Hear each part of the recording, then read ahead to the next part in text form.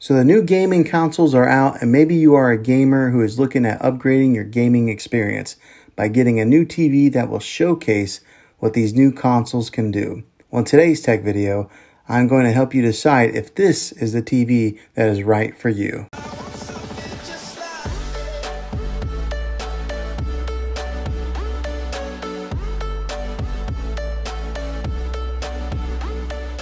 Well, the PlayStation 5 and the Xbox Series X are out, and you're wondering if the LG NanoCell 80 is the best TV for these new systems.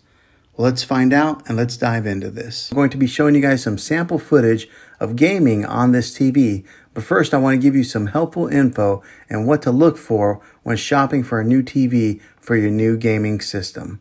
When shopping for a new TV, you want to pay attention to these four key features and these include 4K resolution, 120 frames per second, a variable refresh rate, and HDR. And luckily, this particular model has all of those. It can be overwhelming when you go TV shopping with a wide variety of TVs that are affordable and some that are really expensive. But the fact of the matter is, these consoles in their early days are not going to really need all those features that those high end TVs offer.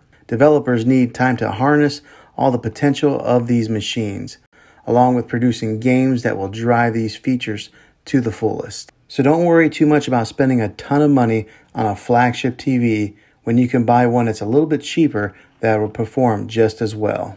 Now I can go into all the specs that are sometimes way over people's head when it comes to these TVs, but seeing is believing. So here is some sample footage of how this TV does with gaming.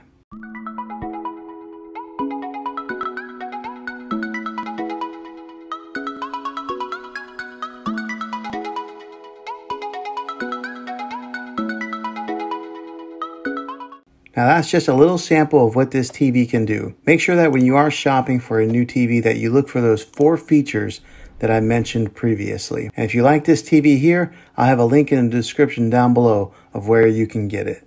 Take care.